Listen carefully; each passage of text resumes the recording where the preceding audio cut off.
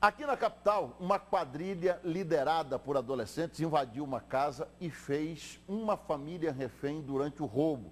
As vítimas foram trancadas em um quarto enquanto os criminosos faziam um verdadeiro limpa na residência.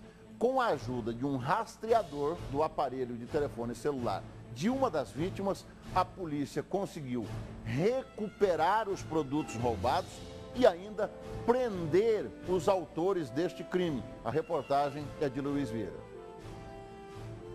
Policiais militares do 10 Batalhão receberam a informação de um roubo à residência no bairro Flamboyant, em Cuiabá. De acordo com as informações da polícia, foram quatro bandidos armados que renderam todas as pessoas que estavam na casa e trancaram as vítimas dentro de um quarto. Eles roubaram vários objetos, uma TV, também notebooks, celulares, uma quantia em dinheiro e um carro, um sandeiro de cor prata. Através do rastreador de um dos celulares roubados, a polícia conseguiu chegar até a casa onde estavam vários aí dos produtos de roubo. As pessoas que estavam no local tentaram fugir pulando muros de outras casas, mas as diligências aí também em outros endereços acabaram resultando na prisão e na apreensão de quatro pessoas. São eles o Luênio César Rondon Rocha, de 31 anos, que inclusive estava utilizando a tornozeleira eletrônica, e três menores de idade, de 14, 15 e 17 anos. Todos foram conduzidos